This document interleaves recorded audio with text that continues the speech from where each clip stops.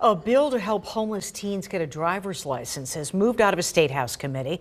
The bill would waive all fees for getting a license, and it would allow young people to use their school or shelter as a temporary address. Teachers and social workers would be able to sign forms in place of a parent or guardian. Homeless teens would have to be in some sort of education program to take advantage of this. Not having a license is a barrier to applying for certain social services.